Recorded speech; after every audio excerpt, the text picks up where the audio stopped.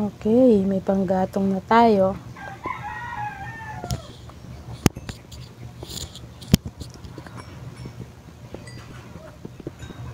So, kailangan natin to kasi uh, gumagawa tayo ng glass para doon sa window ng ating bahay. So, samahan niyo ulit ako sa aking journey dito sa Minecraft Survival.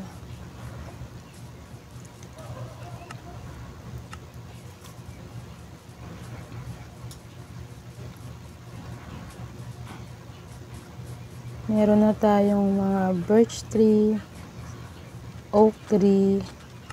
So, last level makakuha tayo ng spruce. So, maghahanap pa tayo ng iba, ibang wood. Kasi balak kong gumawa ng mga bahay na gawa sa iba't ibang klaseng wood.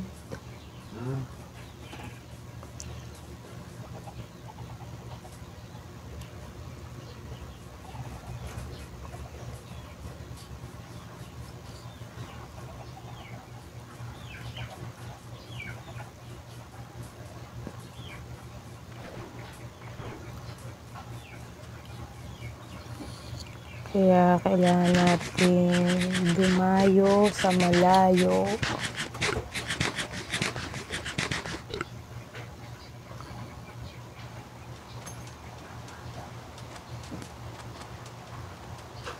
Nabutan na tayo ng gabi sa daan.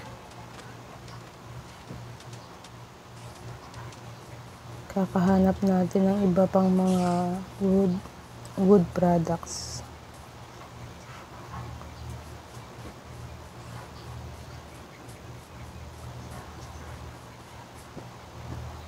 So, yung mga next level, maghahanap tayo ng cherry blossom. Kasi ano eh, nasa update tayo ng 1.20.1 pero hanggang ngayon wala pa rin tayong nakikitang cherry.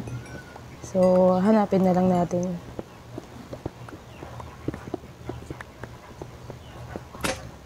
Titingnan natin kung meron tayong makita dito sa world na to.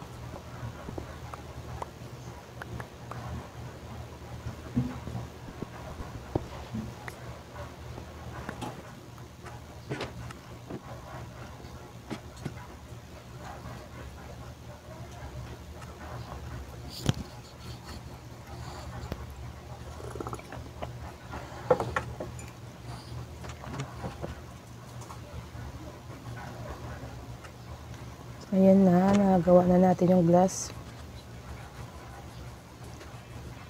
Nung umulan kanina, ayan, kumulog kaya nagkaroon na naman tayo ng piglins.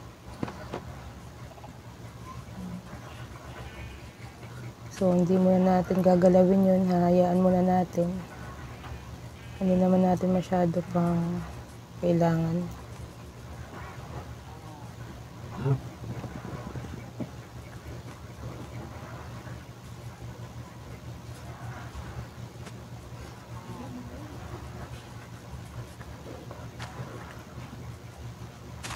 Okay, ito yung spruce na nahanap natin.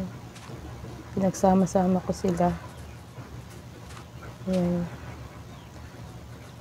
Pagka nakakolek na tayo ng maraming ganyan, gagawa tayong barn.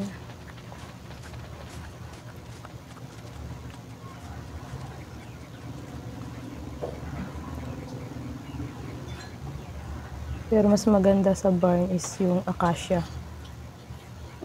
Oh, maghahanap tayo ng acacia na wood.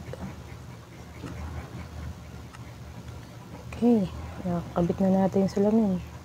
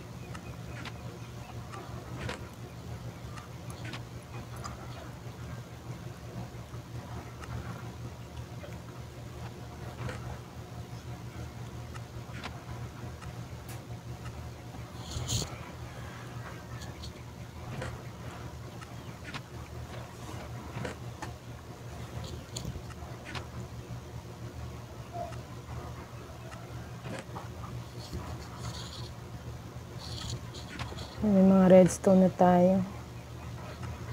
Marami pa tayong kulang. Kaya kailangan pa natin mag-collect ng marami pa.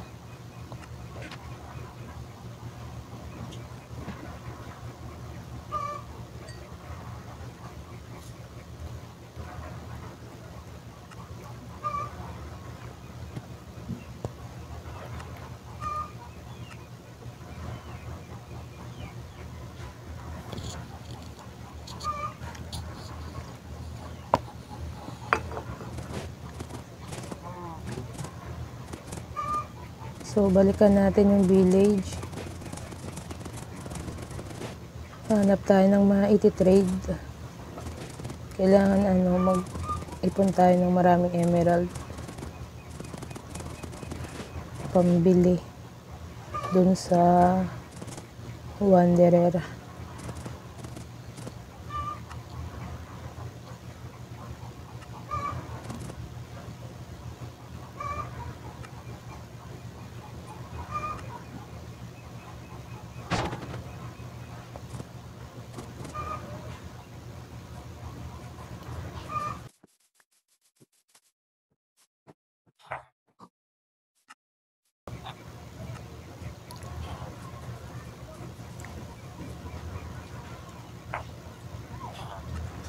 So, kailangan natin ng patatas at ano, wheat.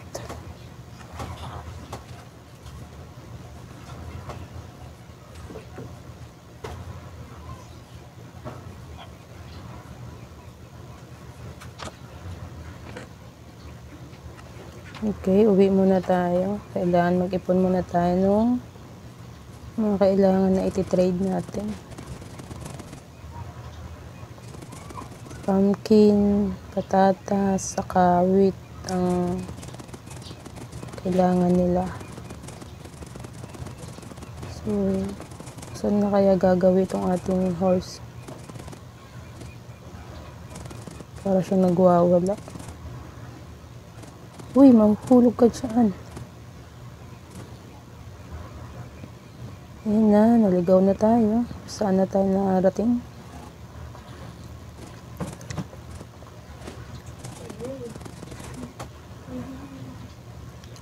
Ay, nako, kabayo ka. Ba't ka naman... Ayun, nalunod siya. So, that's it for today.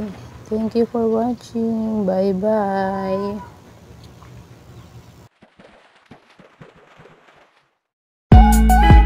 Thank you for watching. Like, share, and subscribe.